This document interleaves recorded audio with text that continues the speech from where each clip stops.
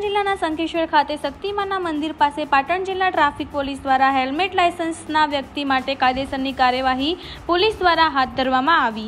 અને હાલમાં તાજેતરમાં જઈએ એક્સિડન્ટના ગુના વધી રહ્યા છે, તેના માટે આ ટ્રાફિક પોલીસ દ્વારા જે ફૂલ ડ્રાઇવિંગ કરે તેવા લોકો માટે કાયદેસરની કાર્યવાહી કરવા માટે પાટણ જિલ્લા ટ્રાફિક પોલીસ દ્વારા કડક ચેકિંગ શંખેશ્વર શક્તિમાં મંદિર પાસે વાહનો રોકીને તેમની વાહનોને ચેકિંગ અને જે કાયદાનો ભંગ કરે એવા લોકો માટે કાયદેસરનો એ કરવા માટે સક્ષમ મિલા કે પોલીસ દ્વારા લોકો પોતાના નિયમને ધ્યાન રાખે તે માટે રેગ્યુલેટ આપી પોલીસ અનેકવાર તેમના દ્વારા દંડ પણ પટાવવામાં આવે છે.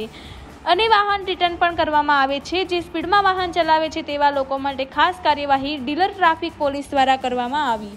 Reporter Dilipsinh Jadeja V nine news Patan.